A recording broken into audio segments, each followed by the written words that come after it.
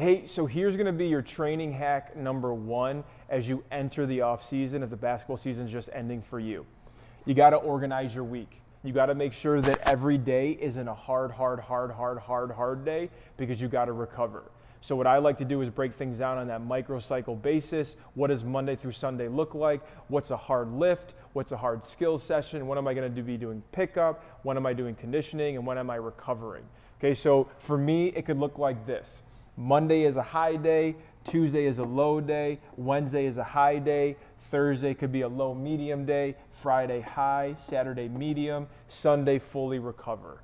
So you got to make sure that now that the season's over with, you're organizing your week so you are balancing getting the adaptation, but you're also balancing how you can recover because that's also going to be a huge influencer in getting the results that you want.